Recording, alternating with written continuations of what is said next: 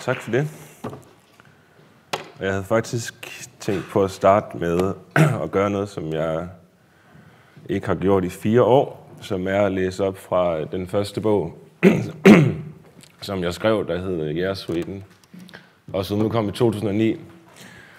Og øh, grunden til, at jeg tænkte på at starte med det, er, at jeg tænkte på at, ligesom at tale om ikke mindst øh, de to bøger, som jeg har lavet, men også øh, afstanden imellem dem, som på en eller anden måde er noget, jeg har oplevet som, som så langvarig, at det på en eller anden måde ikke var en oplevelse i tid, men mere en form for øh, ja, geografisk afstand nærmest imellem de her to bøger. Øh, fordi hvad vil det overhovedet sige, at noget finder sted langt væk fra hinanden i tid? Altså er der overhovedet mulighed for at tale om tidslige afstand andet end i sådan mentale konstruktioner, man laver. Altså, jeg har været meget optaget af det her med sådan, det her med at være, altså, at være født, og så det, som der skete for 10 minutter siden, at det overhovedet, øh, er jeg overhovedet nogle afstande, som finder sted andre steder end inde i ens øh, mentale systemer. Måske er alt lige tæt på hinanden i tid. Så derfor så, så øh, så har jeg været lidt optaget af tanken om, at de her bøger, to bøger, som jeg skrev, var, havde en stor afstand fra hinanden i rum. Øh, altså, at det var en form for landskab, som de her to bøger, de øh, ligesom fandtes i. Altså ligesom to former for nationer, som lå meget langt væk fra hinanden. Øh, og som selvfølgelig er, øh, derfor er adskilte systemer, eller man nu skal sige, øh, som, som sådan en slags bognationer, men også er forbundne ved, nogle, ved en masse ting, altså blandt andet ved den omstændighed, at den organisme, som har skrevet de to bøger, har haft den samme barndom og sådan nogle ting. Der er jo ting, man ikke kan flygte fra, tror jeg, som gør, at de her to bøger selvfølgelig både er forbundne og adskilte. Det er det, der har lidt var mine pointe. Men, øhm, men jeg vil starte med at læse op fra, øh, fra Jeres Sweden, som er... Øh, Ja, en digtsamling kom i 2009, og det første digt, det lyder sådan her. Dogner helt igennem min dag, tager det helt afslappet. Jeg går ud i køkkenet og kigger mig lidt omkring. Jeg har lige købt en DVD med Phil Collins. Skider to gange den dag. Wow. Ved middagstid går jeg ned og henter sprød pizza – jeg bærer det forfærdelige rum med mig. Hvor mange børnehavestuer i DK hedder mundflunkerne? Jeg tror måske en. Det er der, jeg nogle gange arbejder, men ikke i dag. Ikke i dag. Øhm, ja. Og det, faktisk så lyder det måske ikke sådan ud fra det digt her, men, det, men jeg var meget optaget af, øhm, af katastrofer, øh, både mentale og, og ja, materielle katastrofer, eller man skal sige. Dengang jeg skrev Jægersveden, jeg tror, jeg skrev den, mens jeg gik på, på forfatterskolen der 2008, hvor jeg tror, der var en af mine lærere, som ligesom øh, ved den første læsning, jeg havde udpeget en, en øh, katastrofe i alle de digte, jeg havde taget med. Og det var jeg faktisk ikke selv bevidst om, at der var. Og det viste sig, at hun havde ret, hvis man gik dem igennem. Der var flykatastrofer og alle mulige former for katastrofer i hvert eneste digt, som jeg havde lavet. Så det, det var ligesom noget, jeg ikke var klar over, at jeg havde arbejdet med, men så blev jeg så senere hen ligesom gjort bevidst om det.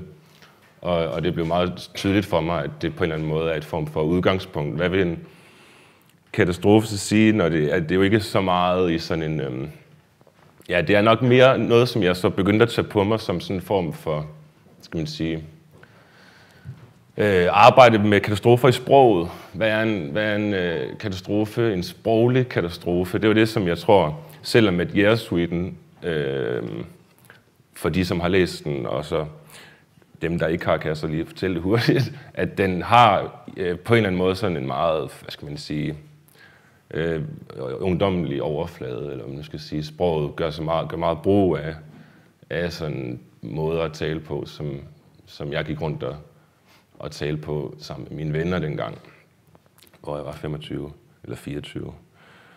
Øhm, men øh, det som så i virkeligheden, og det er ligesom det, den er blevet, i receptionen er den ligesom blevet i talesat som en bog, der handler meget om ungdom, og det var ligesom det, som blev sensationen, eller hvad man skal kalde det, i forhold til den, at den var ligesom en digtsamling, som skrev på, en, øh, på et helt andet temperamentsgrundlag, end man i dansk sammenhæng på den tid øh, var vant til at se digte betjene sig. Altså, det vil sige, at der var sådan mange bandeord og sådan nogle ting, i, øh, farlige ting i mine digte. Men jeg tror, det som i virkeligheden interesserede mig faktisk, var, udover at det selvfølgelig også var en genuin interesse at se, hvad sker der, når man udsætter det her øh, klassiske, traditionsrige øh, digtrum for, for ungdommeligt sprog og sådan noget. Hvad, hvad gør det ved det rum på en eller anden måde? Hvordan omkonfigurerer det øh, de ting, som, som der også skete i digten og sådan noget. Men, det, men i virkeligheden så tror jeg, at det, som, som jeg synes var mest interessant at arbejde med, var de her sammenstød eller katastrofer i sprog, som for eksempel, nu stod der i det digt, som, som jeg lige læste op, at øh, jeg henter sprød pizza, og jeg bærer det forfærdelige rum med mig, tror jeg, sætningen er. Og det, på en eller anden måde, så tror jeg, at det var, blev en meget emblematisk linje eller sådan for mig i forhold til, når jeg tænkte på bogen, efter jeg havde skrevet den, fordi at hvad kan man sige, ja, på en eller anden måde oplever jeg det som to, altså det her med at gå ned og hente brød, pizza, øhm, og så bærer det forfærdelige rum med, så er på en eller anden måde øh, to udsagn, som kommer vidt forskellige steder fra, eller hvad man skal sige, men det var på en eller anden måde det samme subjekt, som uproblematisk kunne udsige det. Øh, og hvad gjorde det ved, ved, ved læsningen af digtet, at der, at der fandt så vidt forskellige udsagn sted inden for den samme stemme og inden for så kort plads? Og det tror jeg, det er en form for øhm, noget, som jeg betragtede som sproglige, øh, om ikke katastrofer, så i hvert fald voldsomme kollisioner i sprog, altså kollisioner imellem forskellige temperamentsregistre til kollisioner imellem forskellige tempoer og kollisioner imellem forskellige ja, det, man kalder diskurser på universitetet, altså øh, forskellige måder at, at tale på, som man gør rundt omkring i samfundet, i de forskellige rum, som, som samfundet består af. Så jeg var meget optaget i arbejdet med jeres af at se, hvad der sker med sproget og med betydningsdannelsen og med læserforventningerne og sådan nogle ting, når man lærer vidt forskellige øh, sprogformer kollidere inden for meget lidt plads. Altså jeg havde nærmest, jeg tror, jeg fik sådan et billede af, at det var sådan, øh, ja, en form for, hvad sker der, hvis man ligesom lader sådan nogle meteorer slå ned i noget i, på en planet? Hvad for noget nyt liv mylder der frem uh, i den her kollision, hvis man lader forskellige sprogformer støde hårdt sammen og sådan noget? Øhm. Og det var sådan lidt det, det, øh, det er i hvert fald det, som er blevet det vigtige for mig i, i, i refleksionen over bogen efterfølgende. Det er den status, den har fået for mig personligt. Og dermed ikke sagt, at jeg ikke har det fint med, at den også handler en masse om ungdomdommelighed og så videre. Det skal den også have lov at gøre. Den skal have lov til at handle om lige, hvad den har lyst til i forskellige læsers bevidstheder. Men det, som der så skete med den, det var, at den tog cirka, når jeg endelig arbejder, det var faktisk også det, jeg ville, ville sige, at det ligesom, den her afstand, der har været mellem Year Sweden og Digte 2014, har også noget at gøre med, tror jeg, at, at øh, jeg personligt arbejder både ekstremt øh, langsomt, men også meget hurtigt, når jeg så endelig gør det. Og langsomligheden, den er meget, den består meget i de her pauser, som der er i mellemrummene, hvor jeg overhovedet ikke skriver, og hvor der til synligheden ikke finder noget som helst øh, skriftligt til øh, stede inde i mit hoved. Eller sådan. Der, det er som om, der ikke rigtig foregår noget. Den, den her den her afstand tror jeg er meget forskellig fra forfatter til fatter. Jeg tror, der er nogen, der arbejder meget processuelt, og så er der nogen, der arbejder mere værkorienteret.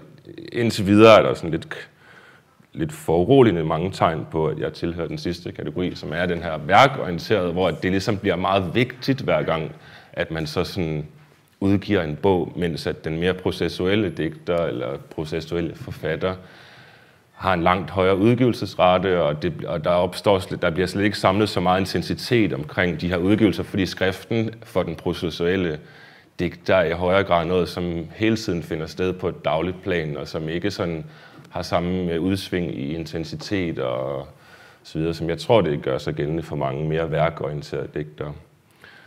Øhm, fordi det, der så skete for mig, det var, at jeg netop havde fornemmelsen af, at jeg havde skrevet øh, de 32 digte, som jeres ven består af, at der ligesom fandt en eller anden form for, øhm, ja, det her sprog, jeg havde, jeg havde etableret i de digte der, øh, fik en udløbsdato på en måde, som gjorde, at de ikke rigtig kunne, hvad skal man sige, den stemme, som jeg havde etableret, kunne ikke tale videre, eller hvad man nu skal sige. Selvom at den troede, den skulle gøre det, så kunne, fordi at de digte, som jeg så trods alt skrev efter, at øh, bogen var udkommet, de blev ligesom ved med at, og, øhm, at bære præg af den her stemme, eller hvad man skal sige. Det er meget sådan en, ja, lidt en persona, der går rundt i de her digte i jeres og oplever nogle forskellige ting, og som, som har nogle særpræg. Og den her stemme med sin særpræg, den vil ikke rigtig øh, opløse sig i min, i min bevidsthed. Så det vil sige, at alle de ting, selvom jeg egentlig var klar over, tror jeg, at den skulle stoppe med at tale, den her stemme, og den skulle stoppe med at gøre alle de øh, opleve, alt det oplevelsesmateriale, som jeg, som jeg modtog, altså at den stemme så skulle transformere det til sejr. Og det, det generede mig rigtig meget, at den blev ved med at virke som sådan en slags, men altså måske er det sådan i virkeligheden med mange vaner, ikke? at de, øhm, at øh, der er egentlig ikke rigtig noget, vaner vil bare overleve, og det er ikke sikkert og nødvendigvis øh, noget særligt godt, de bringer med sig. Det er vigtigste for vanen er, at den vil, vil reproducere sig selv og fortsætte, uden at den øh, egentlig gør noget godt for det individ eller det subjekt, som den har besat, eller hvad man skal sige. I det her tilfælde en stemme, og det er jo sjovt, for der er jo egentlig mange, sådan i psykoanalysen, der er der jo mange der har den her idé om, at stemmen er sådan en form for øh, fremmed øh, element i, i kroppen og i subjektet, altså en form for alien nærmest, som ligesom er, er øh, ja, eller i hvert fald er på grænsen mellem at være kroppen og være noget andet, altså måske nærmest noget, som man kalder det objektale i, i psykoanalysen, som hverken er subjekt eller objekt, men er sådan underlig ubestemmelig mellemsted, ligesom øh, negle og og urin og afføring og kropsvæsker og sådan nogle ting. Ikke? Hvad er det? Hvad er, er det kroppen, eller er det noget, man, som ligesom bliver skilt ud fra kroppen? Og hvad er det? Nå, men øhm, det var lige en digression. Og så, øhm, hvad hedder det? Øhm, så, jeg, så brugte jeg så, det er så det, jeg vil tale om, det var den her afstand mellem bøgerne, det var faktisk det, ikke? At så, så kom der en afstand, som, som blev endt med at blive på fire år mellem at Year Sweden og så digte 2014, hvor jeg lige pludselig, altså, hvor det faktisk lykkedes mig at få den her stemme lukket ned, og så nu skal du ikke, øh, nu skal stemmen ikke tale mere, ligesom. Øh, nu skal jeg ud noget nyt, og så sker der, tror jeg, det, når man ligesom lægger et sæt af vaner fra sig, så opstår der i hvert fald, i det her tilfælde opstår der en høj grad af af identitetsløshed, ikke? Fordi hvem, hvem er man lige pludselig, hvis man ikke har sine vaner? Hvem, hvem er man så? Det er så i, i det her tilfælde et, et, et, et, et digterisk spørgsmål. Hvem var jeg som, som skrivende? Jeg kunne slet ikke finde ud af at, at sætte mig ned og skrive, for jeg vidste ikke, i hvilket sprog jeg skulle skrive, når den her stemme var forsvundet ud af mit, øh, mit system. Så jeg brugte... Ja, det som der så skete, det var, at jeg flyttede til øh, Berlin, hvor jeg boede i nogle år og ikke vidste, hvad for en form jeg skulle skrive i. Altså, jeg var meget bevidst om, at jeg gerne ville skrive en bog mere, men jeg vidste ikke rigtigt, om det skulle være en roman, eller om det skulle være en digtsamling, eller om det skulle være noget, som, som blandede alle genrer i verden øh, i sig. Så jeg brugte en masse år på, og, eller i hvert fald rigtig meget tid på at eksperimentere i forskellige retninger, øh, uden at mærke, om jeg ligesom synes, at det var noget, jeg havde mig selv med i.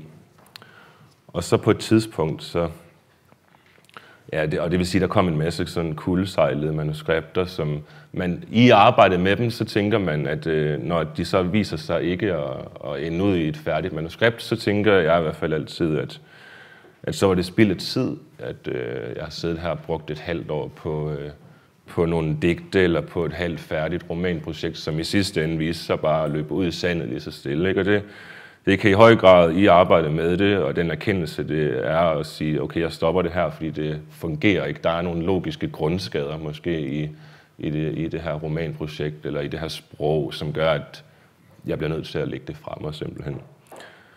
Øh, og det føles tit som, som spildt arbejde, men det, det, som der så skete, tror jeg, det var, at jeg flyttede tilbage til, til Danmark for et par år siden.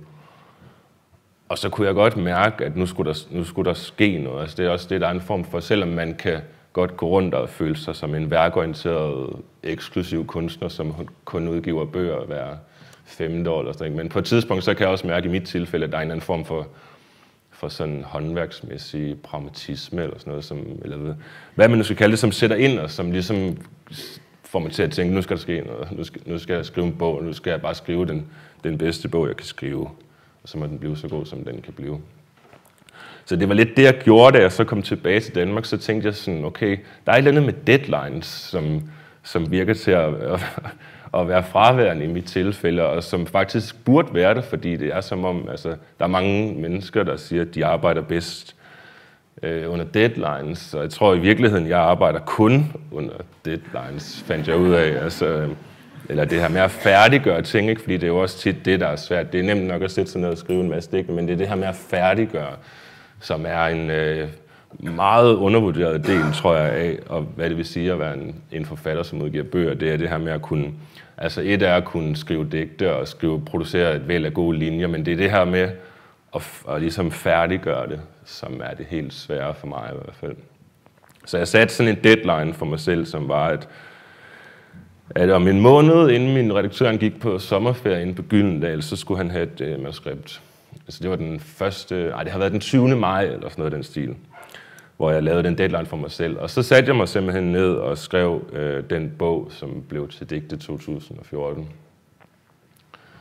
Og det gjorde jeg så dels ud fra en masse materiale, som jeg fik lavet i den periode, hvor jeg skrev bogen, men det var, men det var i lige så høj grad min erfaring, at jeg trak på en hel masse af de øh, kuldsejlede manuskripter og de ufærdige digte og alle mulige notatdokumenter, jeg har haft liggende. Altså, jeg ved ikke, hvor mange tusind sider det drejede sig om, som, som man jo tænkte, at det ikke gav mening, at jeg havde brugt tid på det. Men lige pludselig, så peger de tilbage på det nu, man sidder og skriver i, og viser sig at øh, være stof, som man i høj grad kan trække ind i det, som man sidder i og skriver i det, i det partikulære nu der. Det vil sige, at alle de kuldsejlede linjer, manuskripter osv., var lige pludselig et øh, form for rum, jeg kunne trække fra. Jeg kunne trække materiale ud fra det, og så kunne jeg sidde uden problem at sige, at det her det holder slet ikke, men her er der lige en linje, som jeg kan trække ud, og her er der en passage, som fungerer. Så, så arbejdet med digte 2014 var i virkeligheden i høj grad en, en, en kombination af det her med at skrive nyt, og være op og køre på et eller andet form for sprogligt, øh, ja, en eller anden form for energi, øh, og så også ligesom trække ting ind fra fortiden, så det blev sådan en underlig blanding af, altså et, simpelthen et, et form for sprogligt puslespil, som jeg lagde ud fra, fra alle mulige ting, som jeg havde skrevet på, på, på, i de fire år, som var mellemrummet mellem bøgerne, og som, hvor jeg gik rundt og bildte mig ind, at jeg var identitetsløs, og ikke vidste, hvad jeg skulle skrive, og ikke havde nogen stemme. Ikke fordi det der med, at jeg følte, at jeg ligesom havde flyttet ud af min stemme i, i Air Sweden, og så havde jeg ligesom bare flyttet, uden at have noget sted at flytte hen. Så derfor så det er det, jeg mener med identitetsløs. Ikke? Det, nogle gange er det en meget god idé ligesom at vide, hvor man kan tage hen, hvis man smutter fra et eller andet. Øhm, så det, så det, øhm, ja, det, det, det arbejde, det viste sig i høj grad at være, være både nutid og fortid, som, som, som teksterne de kom til at bestå af. Øhm, jeg ved ikke, nu har jeg ikke kigget, hvor lang tid jeg har, har snakket indtil videre. Jeg har faktisk ingen idé om det. Men jeg kan, men øh, to minutter. Hold da fast. Nej, men jeg læser, jeg tænkte nemlig på, det var faktisk utroligt så god timing. Det var, jeg, læ, jeg tænkte at læse, øh, øh hvad det hedder, to digte fra, øh, fra digte 2014. Den består af fire kapitler, som hedder Sort Frekvens, Bølge, Elefanter hedder det tredje, og så det sidste kapitel hedder Arktisk Kommando. Og hvad det nu det hedder, jeg kan måske lige nå at knytte en anekdote til Arktisk Kommando. Det var, et, øh, det var noget, som jeg første gang hørte i dronningens nytårstale i 2011, tror jeg det var, hvor hun har den her, øh, som sædvanligt, så havde hun den her serie af, hvad skal man sige, særlige adelshilsner til, til folk, øh, som af en eller anden grund skal, skal, altså vi har søens folk, som skal have en nytårshilsen, og soldaterne, der kæmper for vores land, og så videre. Og så i det her tilfælde, så var der også Arktisk Kommando, som øh, hun ville sende en nytårshilsen til. Og jeg havde ikke rigtig sådan fornemmelsen af, at nogen til den nytårsaften, jeg befandt mig ved, at vidste, hvad Arktisk Kommando var for noget. Jeg vidste det i hvert fald ikke, og derfor så, øhm, da jeg vågnede op dagen efter, så skyndte jeg mig at slå op ind på Google, og, og så fandt jeg til min store skuffelse ud af, at Arktisk Kommando er en form for flådeinstans, eller sådan noget, som til synlædende uden større, vigtigere årsager patruljerer op i, øhm, i farvandet mellem Grønland og Færøerne.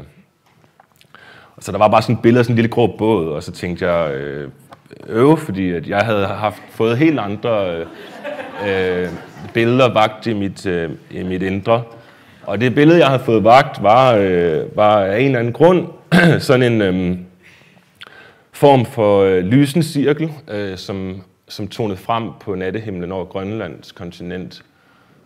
Hvorud igennem en eller anden form for øh, ikke-biologisk livsform strømmede. Øhm, så, det var, så det var lidt over i noget mere science fiction-agtigt, end dronningen havde øh, opfattet det som. Og den her biologiske livsform, den ville så af en eller anden grund have den let efter en indgang til menneskeverdenen, eller måske til den biologiske verden som sådan.